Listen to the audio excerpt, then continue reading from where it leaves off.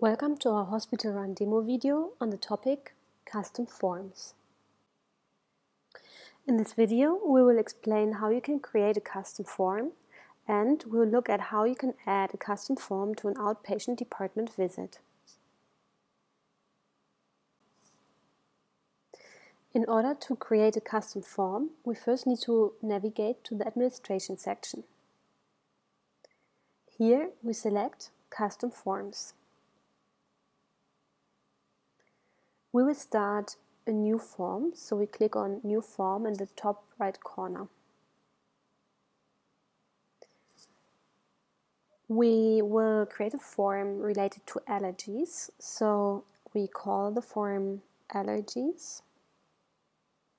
And the form type will be visit type, which means that the form will be visible when you click on the outpatient department view it's possible to create optional or required forms. So if you select always include, it will be a required form, but we will not select this in this case. Now we will add three different fields. The first field that we will select is a drop-down menu. So we select drop-down. The label will be allergies and we will um, add two different values to this. We will add yes and no. Click on add.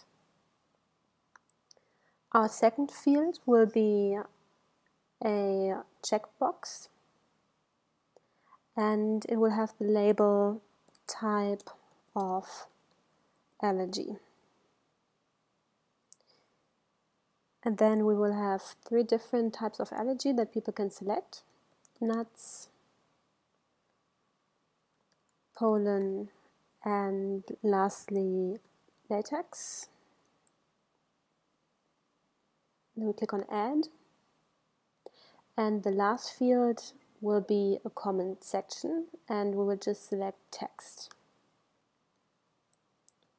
Comment will be the header and again we click on add. Now in order to save our form we click on update and we get the information that the allergies form has been saved. Okay, now to see the form um, we will go to patients and the outpatient view and then here once we check in a new patient Let's say we select Jennifer Tucker, or rather we check her in. You can see the button Add Form. And here you can find our new allergies form. We click on Add Form, and then our form can be found in the bottom of the page. Let's check that patient in. And now let's have another look at the custom forms menu. So the one that we have now seen is the form on visits, but it's also possible to create forms on different sections of the HospitalRun software. We have basically the choice between several types of form. We can create a form for the discharge report, for incidents, for operative plan and reports, for outpatient reports, for patients, social work, and for visit. And each of these forms will uh, appear in a different section of the HospitalRun software. Lastly, it's important to notice that it's possible to add several forms of the same form type. So for example, one could create several visit forms for the outpatient view. These are all topics that we wanted to cover in this video. Let's have another look at the summary. The first thing we did was to create a custom form.